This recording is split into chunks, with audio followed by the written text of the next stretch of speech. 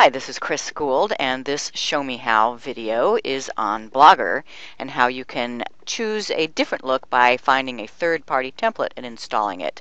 You download that template to your computer, then upload it to your blog, and then you might need to tweak it. I'll show you what I mean. Here's the blog we're going to be working with. This is the one that is Odie's blog. Odie is our little mini poodle, and he has several posts. The only he's using a standard blogger template with the addition of this photo in the header, and there's a few uh, gadgets over on the right-hand sidebar. You may have noticed that the choice of templates in Blogger itself, the automatic ones, are pretty limited. So but there are third parties. There are other places where you can get templates. Let's just Google. I want something that's travel related, so I'll say blogger template travel. We're just Googling for this. This looks like a good possibility, travel blogger templates. And here are the free templates on this particular site, B templates, that are related to travel. You can scroll through, and if you see one you like, you can try it. You can also keep searching for other things. Let's say you don't care about it being travel related, you just really want something that's orange. So here are all the templates that have orange as a, as a primary color. You can spend a lot of time looking through all the different templates, but I already tried one here, so that's what I'm going to show you and that's this one called Traveling Logbook. So click on it, and then you should see a button for download.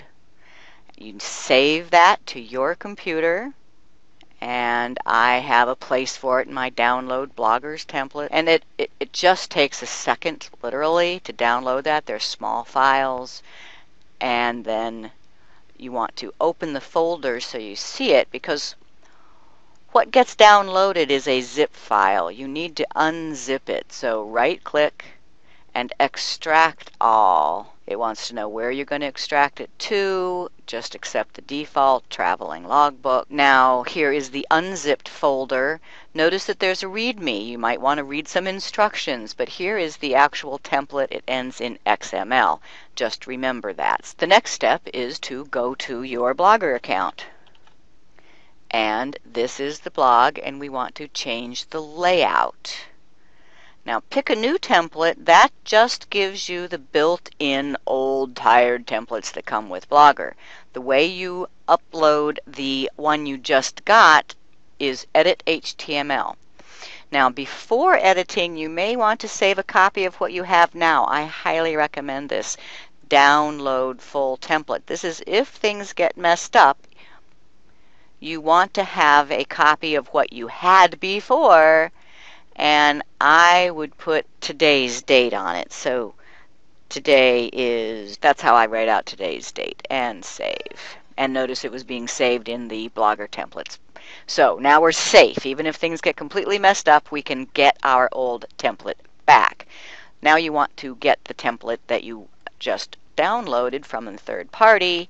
So browse, navigate to where it was. There it is, the XML file. So open that and upload.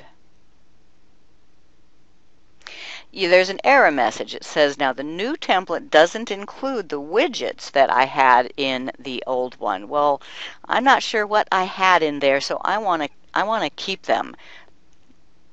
Deleting them cannot be undone. If you don't know, if you don't care, deleting them will give you a nice clean start.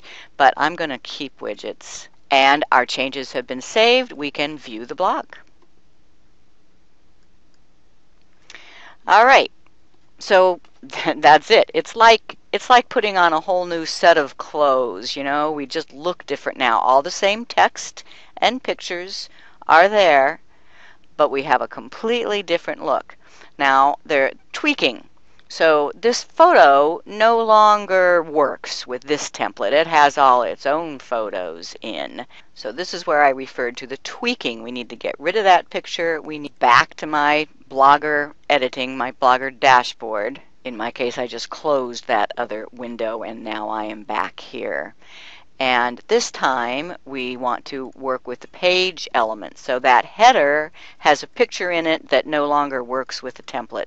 So header, edit, remove image, and save. View the blog.